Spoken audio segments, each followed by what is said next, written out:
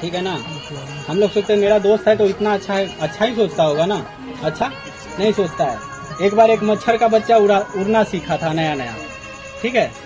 एक मच्छर का बच्चा नया नया उड़ना सीखा था तो दिन भर उड़ा बढ़िया से। ठीक है? नाइट में जब घर गया तो उसके पप्पा पूछे कि आज तो नया नया उड़ के आया था, कैसा एक्सपीरियंस रहा? है ना? घूमे हो तो क्या, किससे मिले, कैसा लगा? तो वो बताया कि, पापा, बहुत अच्छा लगा। है ना? जिधर जा रहे थे लोग ताली बजा रहे थे। कौन बोला था? मच्छर का? बच्चा बोला था, जिधर जा रहे थे उधर लोग। ताली बजा रहे थे, ठीक है? उसको थोड़ी ना पता था कि सच्चाई क्या है। लोग ताली काहेला बजा रहे थे? मारने के लिए। उसको पता था? नहीं।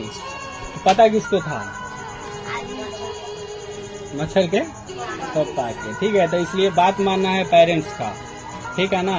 दूसरा सब भी ताली बजाते रहता है तो इसका मतलब ये नहीं कि आपके खुशी के लिए ही बजा रहा है।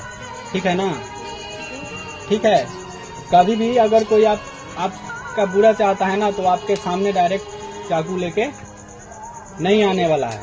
डायरेक्ट चाकू लेके नहीं आएगा। वो हँसते हुए, ताली बजाते हुए ही आता है। ठीक है ना? इसके लिए हमेशा अपने पेरेंट्स का ही बात मानना है। ठीक है? हम लोग उन्हीं का बात नहीं मानते हैं। ठीक है? आ जाते हैं जो ताली बजाता है उसके पास